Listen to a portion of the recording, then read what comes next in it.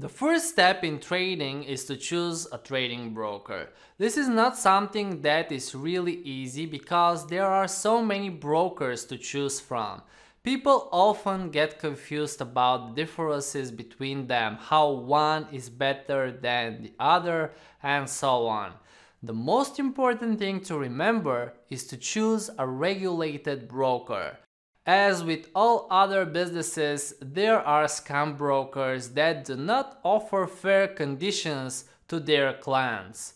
We have begun a special topic in our forum at EA Forex Academy called how to recognize the scam brokers. This section illustrates how scam brokers work and what you need to be careful of when choosing a broker. Unfortunately, many students and traders have had bad experiences. They have shared them in this forum topic for us to learn from them. In this lecture, I have attached a PDF file listing some of the most popular regulators. So when you are choosing a broker, you can refer to this list and make sure one of these companies is regulating your broker.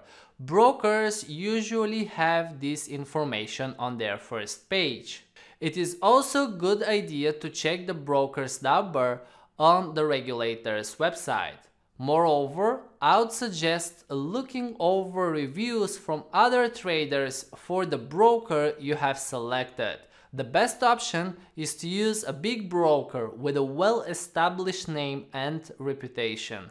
They cannot really afford to hurt their image with bad business practices. Now, I'm not personally connected with any broker, so I do not like suggest any. This is a personal choice. Just make sure you have chosen a regulated broker with small spreads and commissions. If they have MetaTrader, that is even better as you will be able to test the expert advisors from this course. However, if you are still having a hard time selecting a broker, let me know, I will help you with that.